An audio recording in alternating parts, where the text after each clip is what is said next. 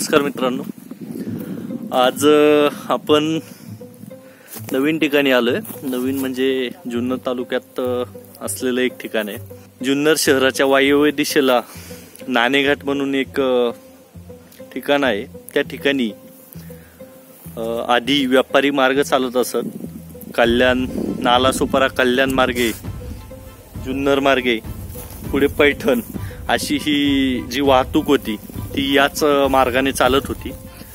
रस्ते वगैरे तर आज झाले तर तो तोच पाहिला पण आज या ठिकाणी आलेलो आहे. या ठिकाणी हे दिसतंय हेच ते रांजण आहे. तर या रांजणामुळं या ठिकाणी या ठिकाणी नाणेघाट असं नाव पडलं कारण ही जी वाहतूक चालत होती तर त्या वाहतुकीचा जो कर आकारला जायचा जो जसे आता हायवेला वगैरे तुम्ही टोलबुटू पाहता रोडचे जे टोल आकारले जातात आपल्याकडून तशाच प्रकारचे टोल या ठिकाणी आकारला जायचा. जे रांजण आहे हे जे रांजण आहे याच रांजणात त्या ठिक त्यावेळी नाणं टाकलं जायचं.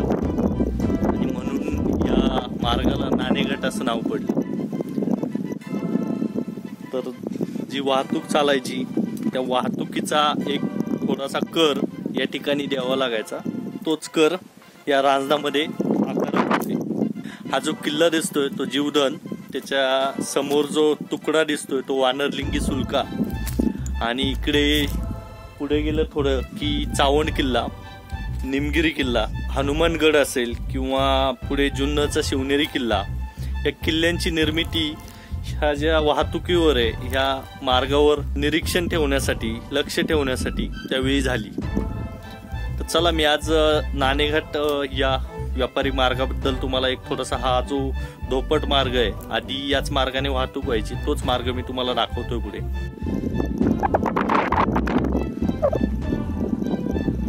पूर्ण खाली गेलेला परिसर आहे. आणि हा जो आहे तो व्यापारी मार्ग. असा पुढे जाऊन हा जुन्नर मार्ग आहे.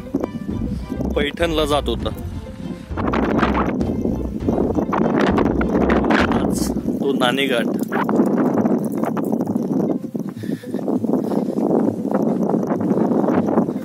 या ठिकाणावरून तुम्ही खाली उतरून आता जो माळशेज घाट आहे त्या रोडला लागू शकता. पुढे जाऊन मग मुरमाड आणि मग कल्याण.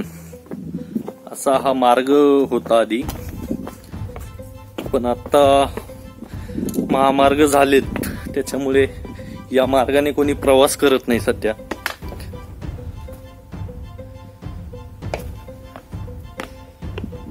असा दोपट मार्ग आहे हा.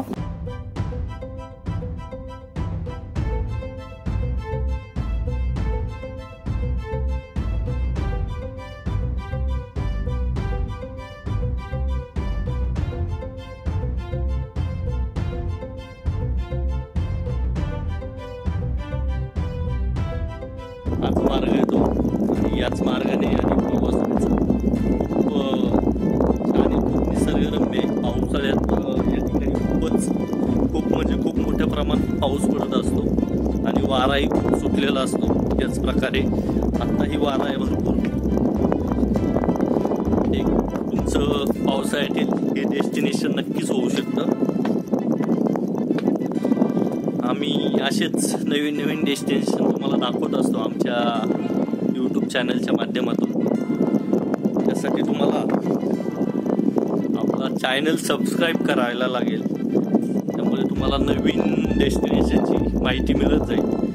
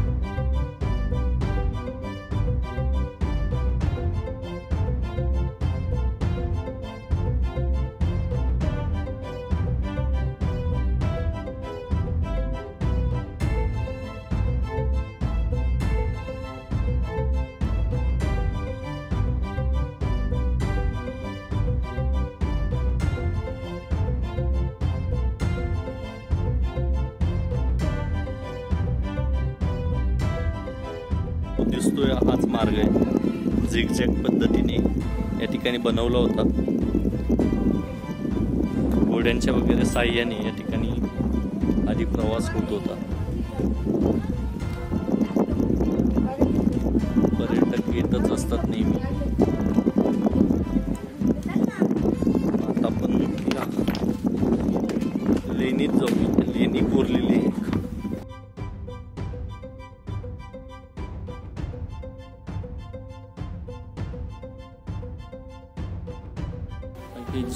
पद्धतीचं आणि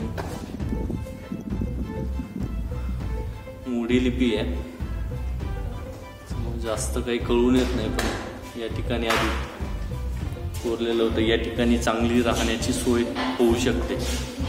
या ठिकाणी दुसरं असं कोणतं काही डेस्टिनेशन नाही जे तुम्ही राहून एक्सप्लोअर करू शकता. त्यामुळे सहसा लोक या ठिकाणी राहत नाहीत.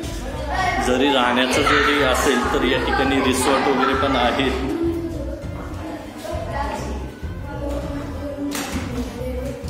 हे पहा. असाच पूर्णतः मार्ग खाली उतरलेला आहे आणि पुढे जाऊन सकल आहे. सकल भाग आहे त्याच्यामुळे पुढे रस्ता मोकळा आहे. हा जो पूर्ण आहे आपण जी ही रांग आहे ही डोंगर रांग ही हरिश्चंद्राला गेलेली जो कोकण आहे त्या ठिकाणी तसंच कोकण या ठिकाणी आहे. तुम्ही पाहू शकता. तर या ठिकाणी खालच्या भागी खालचा जो भाग आहे तिकडे ठाणे जिल्हा चालू होतो आणि इकडे वरती जुन्नर तालुका आहे पुणे जिल्हा. या ठिकाणी लेण्याही आहेत. मोठ्या प्रमाणात येतात उन्हाळ्याच्या सुट्ट्या असल्यामुळं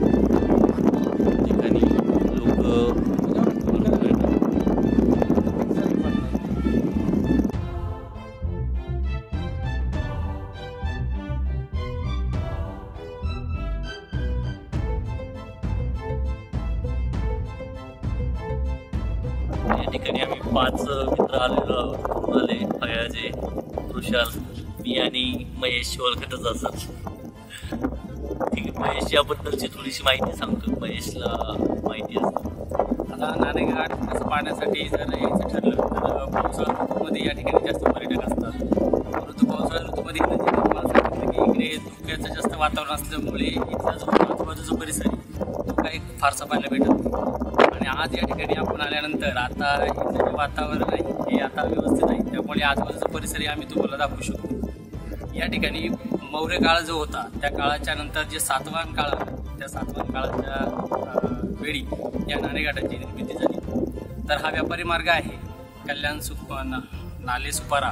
हे इकडे पुढे जुन्नर नंतर आपण पाठच्या एका व्हिडिओमध्ये दाखवलं तुम्हाला चावण किल्ला चावण किल्ला इथे पुढे आहे. आणि त्यानंतर जुन्नर पैठण. पैठण ही राजधानी आणि जुन्नर ही उपराजधानी असा हा व्यापारी मार्ग या ठिकाणी चालायचा. अजूनही जो परि आजूबाजूचा परिसर आहे तो परिसर आम्ही आता पुढे दाखवणार आहोत व्हिडिओमध्ये.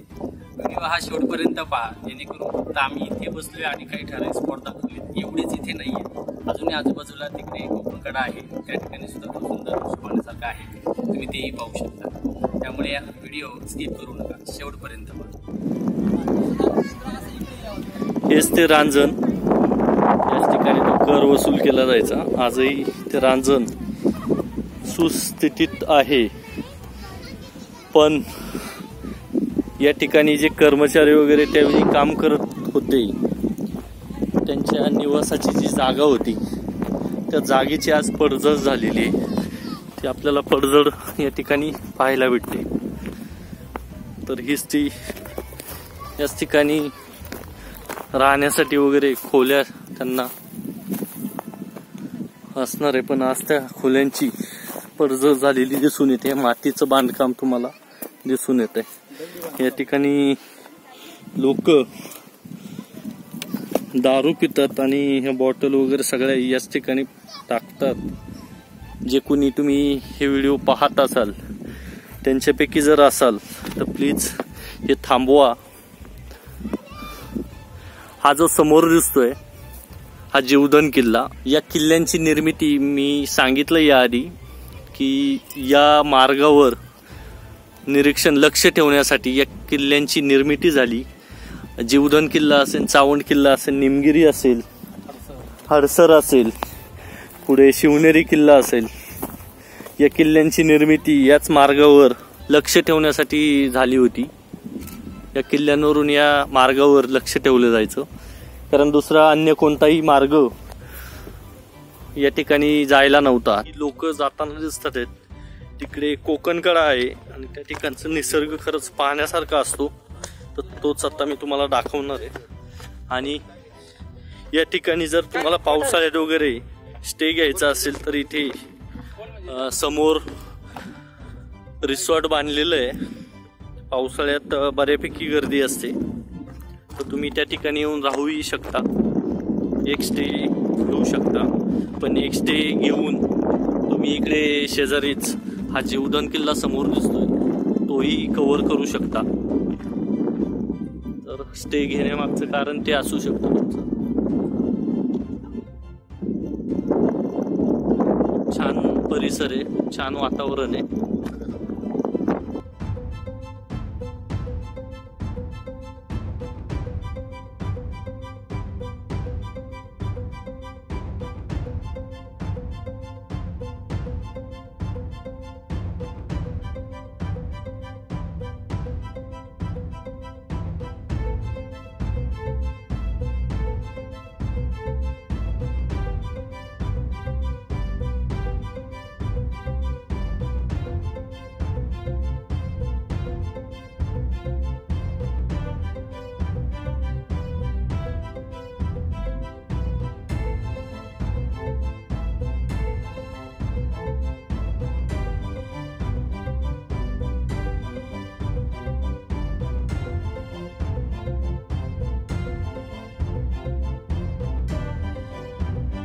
खरं तर आपण या ठिकाणी पावसाळ्यात यायला पाहिजे होतं. पण पावसाळ्यातही आलेलो आहे मी याआधी. पावसाळ्यात येण्यामागचं कारण की या ठिकाणचा जो निसर्ग आहे कारण हा सो सभोवतालचा जर परिसर पाहिला तुम्ही तर खूप निसर्गरम्य आहे आणि खूप या ठिकाणी आत्ताही खूप वारा सुटलेला आहे. आणि पावसाळ्यातही वारा असतो. तर सांगायचं हेच की लोक या ठिकाणी पर्यटक जे आहेत ते पावसाळ्यात येतात. आत्ताही पर्यटक आहेत. पण पावसाळ्यात खूपच गर्दी असते. आपण पावसाळ्यातही येणार आहोत पण पावसाळ्यात काय होतं तर या ठिकाणी हे पूर्णतः सगळं धुकं पसरलेलं असतं. त्यामुळं आपल्याला पूर्णतः पाहता येत नाही. धुक्यामुळं जे या ठिकाणावरून एक कडाच बोलता येईल. खाली पूर्णतः धुकं असल्यामुळं खालची खालचा जो भाग आहे तो काहीच दिसत नाही. त्यामुळं खास उन्हाळ्यात आलो आणि हा परिसर तुमच्यासमोर आणायचा होता. पावसाळ्यात तुम्ही जर आलात या ठिकाणी तर या ठिकाणी खाण्याची वगैरे चांगली सोय असते. या ठिकाणी छोटे छोटे स्टॉल लागतात.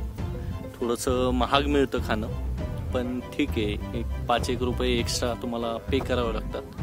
पण तेवढं या ठिकाणी पावसाळ्यात देणं व्यर्थ जात नाही कारण खूप थंडी वाजते या ठिकाणी पावसाळ्यात. आणि अशा वेळी जर काही गरम खायला भेटलं तर खूप छान वाटतं. त्याचाही आनंद घेतला पाहिजे आपण. या ठिकाणी येण्यासाठी तुम्हाला स्वतःचं काही वाहनच आणावं लागेल कारण या ठिकाणी असे कोणती पर्टिक्युलर बस एस टी असं येण्याची सोय नाही. त्यामुळं तुम्ही तुमची स्वतःची फोर व्हीलर म्हणा की टू व्हीलर ती घेऊन येऊ शकता. पण जी मजा टू व्हीलरवर येते ती फोर व्हीलरमध्ये येत नाही. त्यामुळं जर तुम्ही जवळून या ठिकाणावरून येत असाल तर बाईकने या. म्हणजे जर लांबनं कुठनं येत असाल तर फोर व्हीलर घेऊन या.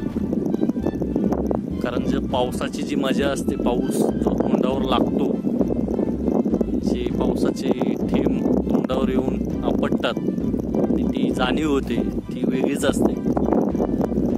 त्यामुळे बाईकने आलात तर चांगलंच आहे. चला मित्रांनो निरोप घेण्याची वेळ आली. तर आज आपण नाणेघाट हा परिसर पाहिलेला आहे सभोवतालचा परिसर पाहिला. तर हा व्हिडिओ कसा झाला? व्हिडिओ आवडला असेल तर नक्की लाईक करा. नसेल आवडला तर डिसलाईक करायलाही विसरू नका. तर ते प्लीज आम्हाला कमेंट बॉक्समध्ये कळवा की व्हिडिओ कसा झाला. जून महिना आहे पुढे पावसाळा आहे. पावसाळ्यात भरपूर डेस्टिनेशन आपल्याला कवर करायचे तर काही डेस्टिनेशन असे असतात की त्या ठिकाणी पावसाळ्यात जाऊनच चांगला निसर्ग आपल्याला पाहायला भेटतो. तसाच काहीतरी प्लॅन आहे. चला भेटू आपण नेक्स्ट डेस्टिनेशनला तोपर्यंत